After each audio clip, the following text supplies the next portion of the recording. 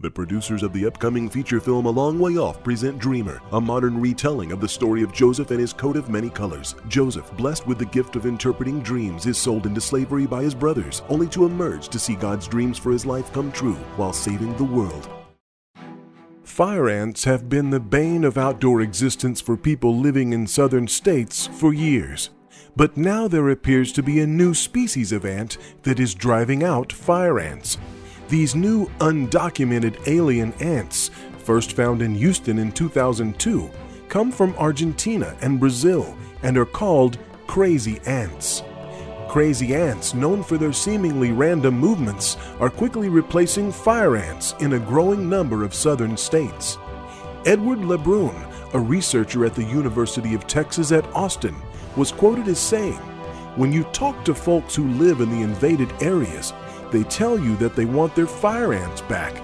Fire ants are in many ways very polite. They live in your yard, they form mounds and stay there, and they only interact with you if you step on their mound.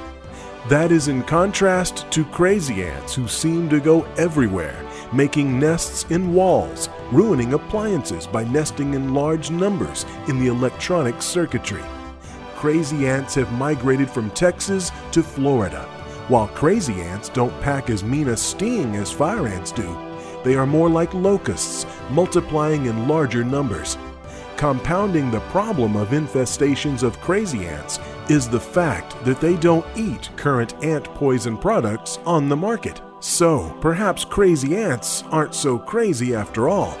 They actually appear to be quite smart, not falling for that old poison ant bait. The challenge now is to find some people smarter than these ants, to find a way to keep these crazy like a fox ants under control before they take control of the US.